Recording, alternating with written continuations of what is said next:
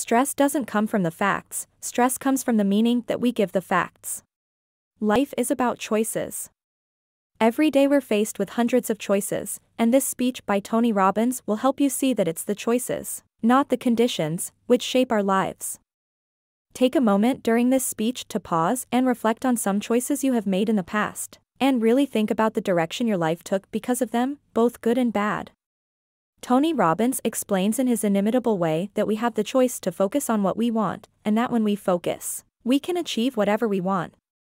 Part of Tony's speech explains how, when the economy is down, some people thrive and some people crash and burn, and the COVID 19 pandemic is the perfect example.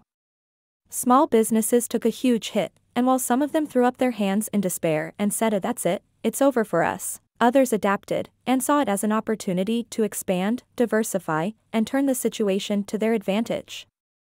And that's the cornerstone of this video, how we react, how we adapt, and how we choose is the difference between success and failure.